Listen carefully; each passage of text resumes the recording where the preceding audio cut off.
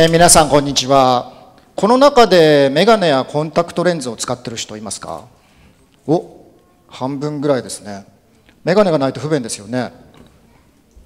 メガネは13世紀にイタリアで発明されて16世紀ぐらいに日本に渡ってきたと言われています。でもそれが普及するのは明治以降です。それ以前の世界を想像してみてください。きっと目の悪い人は不便だったことでしょう。本読んだり買い物したりするのも苦労したかもしれません。まあその頃は街灯もなかったし道路もそんなに整備されてなかったでしょうから目の悪い人が夜道を歩くのはすごく危険だったと思います。まあ僕はよく考え事しながらこう道を歩くんですが昼間でもつまずくことがありますからね。今日ちょっと緊張してるので転ばないように気をつけたいと思います。まあでもメガネが安く大量生産されるようになりそれが広く普及することによって目の悪い人でも普通の人と同じように大きな危険とか不便さを感じることなく普通に生活ができるようになりました。それと同じようなことが色の世界にもあるんです。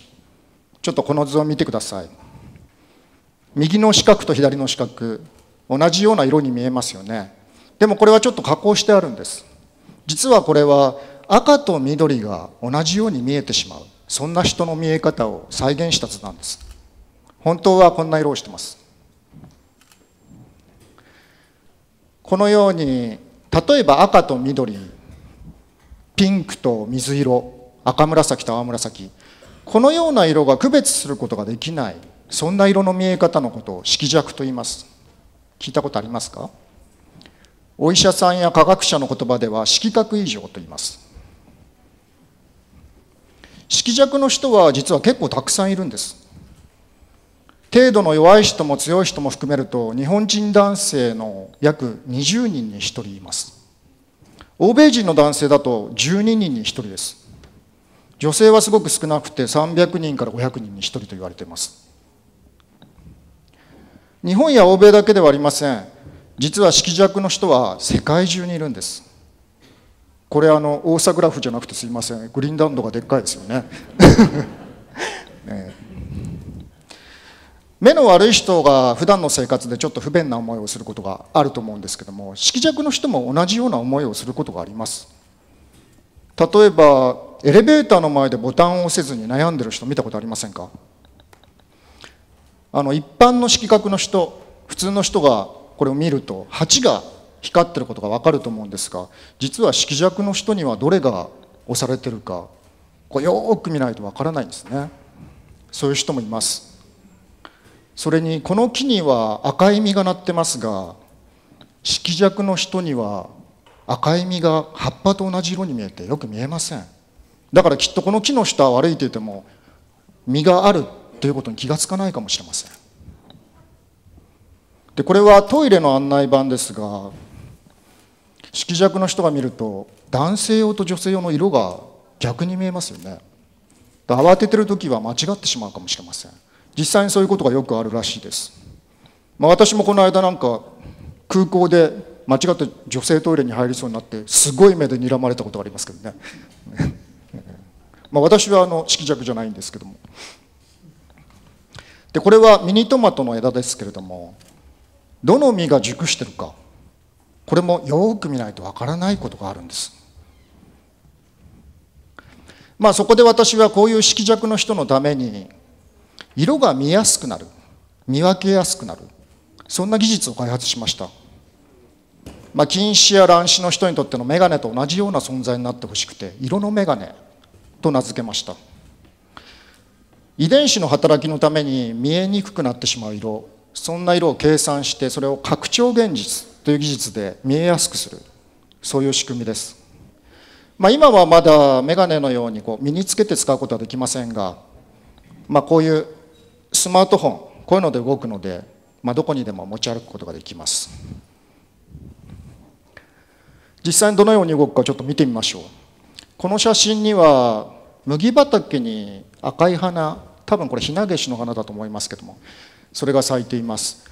でもある種の色弱の人がこれを見ると、まあ、こんな感じで花の存在がよくわからないですよね。でこれを色の眼鏡で見てみましょう。まあこんな感じで花がよく見えるようになります。まあ実際の使い方も結構簡単なんです。この本には一般の視覚の人には読めるんだけれども色弱の人にはよく読めないような色の組み合わせで数字が書かれています。色の眼鏡でこれを見てみましょう。下の2つの丸注目してください。色弱の人が見ると、まあ、このように字が読めないですが色の眼鏡を操作するとこんな感じで読めるようになります。簡単でしょ？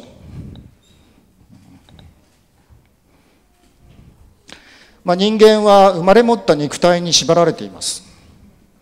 背の高い人や低い人運動神経のいい人悪い人、まあ、それに生まれつき手足が不自由な人や近視の人や色弱の人いろんな人がいます、まあ、でもそんな不便さを補うそんな技術も最近発達してきました、まあ、色の眼鏡はそんな技術です。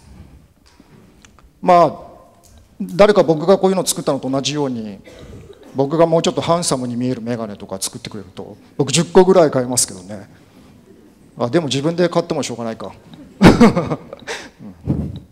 まあ最初この色の眼鏡という技術を作った時私は自分が考えたこのやり方で本当に色が見えやすくなるかどうか実はあんまり自信はありませんでした。でもこのアプリが公開されて間もなくから世界各国から、まあ、いろんなユーザーさんの声が集まってきました。私はそれ全部読んでます。ちょっといくつか紹介します。生まれて初めて紅葉が見えました。こういうユーザーさんがいました。この人は山に行ったそうです。で今まで紅葉っていうものがどういうものか分からなかったんだけどもみじが赤いのがよく分かった。そう言ってました。色を間違わずに服を買うことができました。こんなユーザーさんもいました。このユーザーさんは茶色い服を買いに行って間違って緑の服を買ってきてしまったことが何回かあったそうです。でいつもは友達に付き合ってもらうんだけど一人でもちゃんと買いたよとそう言ってました。バスや電車に乗るときに迷わないで済むようになりました。で路線図は色分けされてることが多いのですごく読むのに時間がかかるそうです。でもそれがまあすごく簡単になったよ。楽になったよって言ってました。黒い模様だと思っていたのが実は赤サビだった。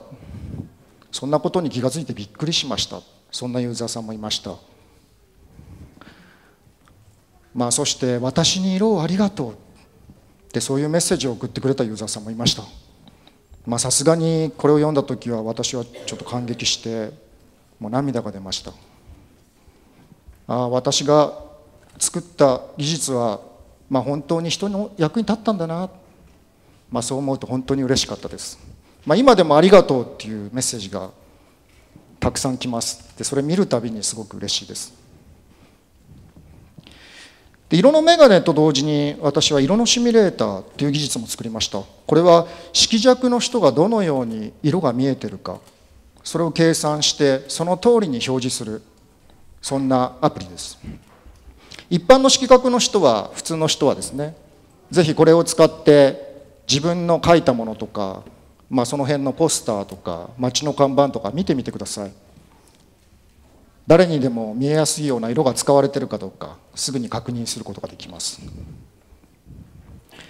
まあ、2つのアプリのユーザーはどんどん増えました。でユーザーの声もどんどん集まってきました。でさっき言ったように私それ全部読んでます。でそのうちに私はそれらの声にある共通点があることに気がつきました。ちょっとご紹介します。僕は色弱です。でいろんなことでは友達に笑われたりとか嫌な思いをたくさんしてきたのでその話は他の人とはしないようにしていました。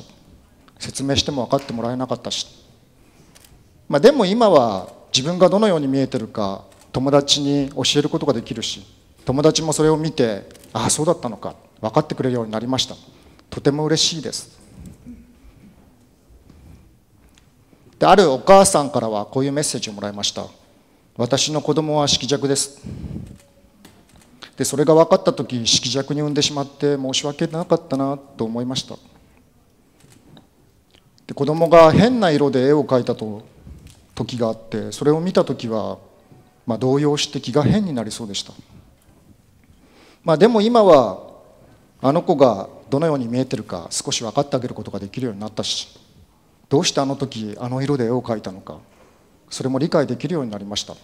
とても嬉しいです。少しだけ安心しました。まあそれらは自分が見えたから嬉しいではなくて自分の見え方を分かってもらったから嬉しい。あの人の見え方を分かってあげられたから嬉しい。そんな声でした。そしてこういうことを教えてもらって私自身もとても嬉しかったです。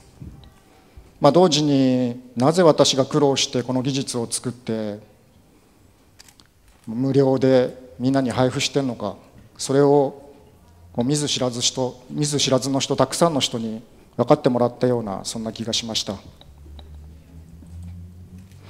まあ、人間は色を脳で見ています。で頭の中は覗くことができないので他人がどんな色を見てるか分かりません。色弱のことがよく分からなかった昔には色弱に対する誤解や、まあ、偏見みたいなものがたくさんあったと聞いています。でも今こうやって分かってしまえばここが違うんだからここだけ気をつければいいんだなとそう考えることができるようになってきます。もっと分かってくると色弱の人は実は青の細かい違いを見分ける力があるとか森で昆虫を見つけたり水中で魚を見つけたりするのが得意な人が多いらしいぞとか。こう一般の色覚の人より優れてる部分。そういう部分も分かるようになってきます、まあ、人間は目に見えないものとか分からないもの。そういうものを怖がります。お化けが怖いのも放射性物質が怖いのも、まあ、それが目に見えないし自分に悪さをするのかしないのかはっきりと分からないからです。この化けは怖くないですよね。ねお母さんが心配しすぎたのも友達が笑ったのも、まあ、そういうことが関係していたのかもしれません。国と国同士が争ったりするのもきっと相手がどんな人でで何を考えていてどんな気持ちでいるのか、まあ、それを知らないからかもしれません。まあそんなことをユーザーから教えてもらいました。ユーザーの声に耳を傾けていると結局私が作ってきたものは一般の色覚の人と色弱の人、まあ、その間の翻訳機みたいなものだったのではないかな。そう思えてきました。色のシミュレーターは一般の人に分かるように色弱の人の色の見え方を翻訳するもので色の眼鏡は色弱の人に分かるように一般の人の色の見え方を翻訳するもの。辞書に例えると英和辞典と和英辞典。まあそんな関係の技術だったんです。でもともとは生まれ持った肉体の不便さを補う。そのために作った技術でしたが実はそれは人と人の相互理解のために役に立っていたんです。そしてそのような手助けをすることこそ今技術が向かうべき方向性の一つなのではないか。そのように私は信じるようになりました。でそう思って作ったのが次の「明るく大きく」というアプリなんですがこれは老眼や目の病気などで小さな字が見えない人の読めない人そんな人のために字をすごく読みやすくするそんなアプリです。でこれら3つのアプリは全部無償で公開されていて世界の10万人以上の人に使ってもらってます。まあ次に私が作りたいのは耳。音に関する技術を作りたいと思ってます。私の父82歳ですが耳が遠くて大きな声で話しかけないと聞こえません。で本当は補聴器っていうあの音が大きく聞こえる装置それを耳につければいいんですが、まあ、音が悪いから使いづらいからって言って使えません。だから私は次はすごい補聴器を作りたいんです。人と話してる時は雑音は小さくて人の声だけはっきり聞こえ静かな秋の夜には小さな虫の音がきれいに聞こえて。で音楽を聴いてる時は音楽がすごくいい音で聞こえる。そんな補聴器です。そして本当はクラシック音楽が好きなのに最近全然音楽を聴かなくなってしまった父を誘って2人でコンサートに行って一緒にモーツァルトを楽しみたいんです。それが私の次の目標です。技術は人と人の気持ちをつなげるのです。ありがとうございました。